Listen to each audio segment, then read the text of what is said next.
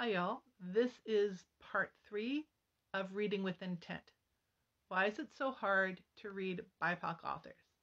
Parts one and two, I covered shopping, how brick and mortars segregate things out, and how online the algorithm gives you recommendations only on your past. And I said the way to overcome this is get names of authors and titles of books from your social media friends.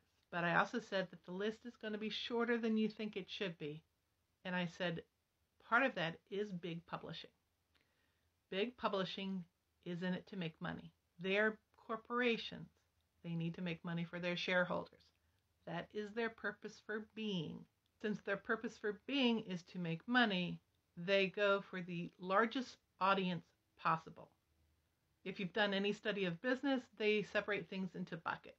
In part one, I mentioned that American demographics 80% of America identifies as white, 20% identifies as non white.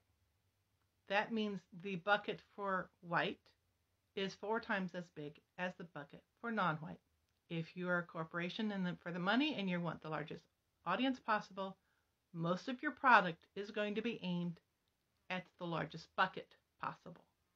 So, white, you're also going to try and do things as predictable and as comfortable as you can. You know how to distribute to a certain market, you're going to distribute to that market first and worry about anything else, any expansions, only if you have the time and money. Therefore, the buyers of products are going to look for things that fit your bucket and fit the distribution system that you have in place and the marketing system you already have in place. Big publishing is big. It has a big history. Its system has been in place for hundreds of years. They're comfortable with something about a decade or even three decades behind where society is right now. They don't move fast. Therefore, the products they're going to put out are that far behind the curve. They are getting new readers in, they are changing, but it's going to be slow. And therefore, BIPOC, that is available for us to read at the big publisher level, isn't going to be very much. We have to depend on indies and small press to make up the difference.